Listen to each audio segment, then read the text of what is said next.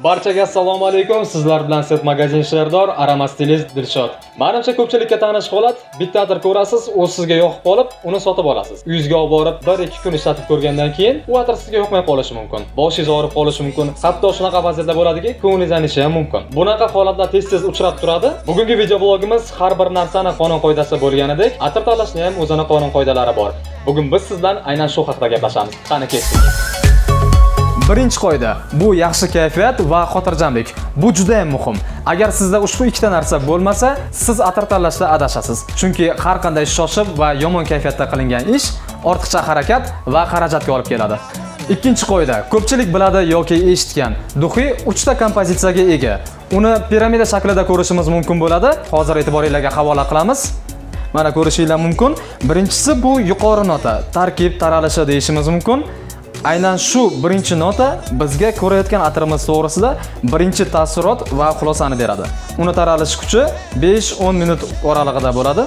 Ikkinchisi bu o'rta nota deyiladi. Bu notani his etish uchun 15-20 minut vaqt kerak bo'ladi va taralish kuchi o'rtacha 1 soatdan 3 soatgacha. Va nihoyat mana uchinchisi bu e, eng asosiysi bu bazovoy nota deyiladi, ya'ni o'sha atirni eng asosiy xarakterini ko'rsatib beradigan, tezda uchib ketmaydigan, konsentratsiyasi kuchli nota sanaladi. Kiyimda, sochda va tanamizda 4-5 soatdan 1 sutkagacha qolib ketadigan hid bu aynan 3-nota bo'ladi. Buni hidi sepgandan keyin 2-3 soatda ochilishni boshlaydi va aynan o'sha payt biz aniq fikrga kelishimiz mumkin. Bu atir bizga tushadimi yoki yo'qmi? Mana hozir ko'rib turganingizda e'tiboringizga bu 3 ta nota. Birinchisi bu Э, yuqori notasi deyiladi. Ikkinchisi bu o'rta nota, сердечный nota.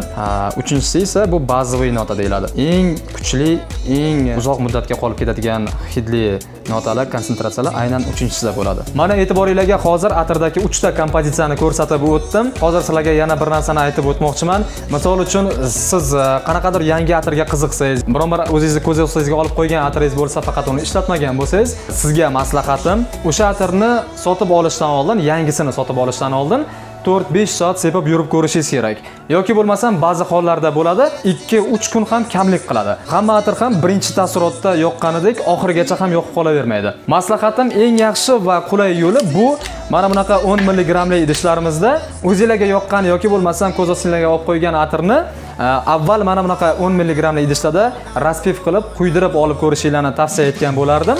Bu flakondagi atir 10 milligram bo'ladi. U sizga kamida 15-20 kunga yetadi va aynan shu vaqt mobaynida siz o'zingiz uchun kerakli xulosani qilib bo'lasiz. Sizga bu atir tushadimi yoki yo'qmi? Э, yangisini sotib olsangiz arziydimi? Bu atir sizga qanchalik yoqdi, barchasini shu vaqt mobaynida bilib olishingizga bemalol imkoningiz bo'ladi. Ushbu video blogim sizlarga yoqdi degan umiddaman. bordiyu sizda qandaydir taklif va savollar bo'lsa, ko'rsatilgan manzillarimizda savolinglarni qoldiringlar. Albatta men bundan juda ham xursand bo'laman va siz bilan keyingi videolarda ko'rishguncha xayr, salomat bo'linglar.